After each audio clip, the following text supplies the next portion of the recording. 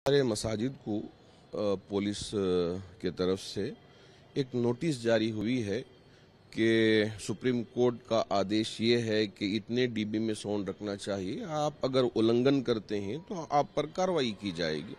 तो इस तरह की नोटिसें मिली हुई हैं।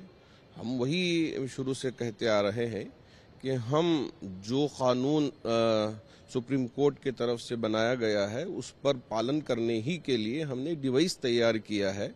ताकि किसी भी तरह किसी को तकलीफ़ ना हो और साउंड जितने डीबी में होना चाहिए, उतने में हम कंट्रोल कर सकें।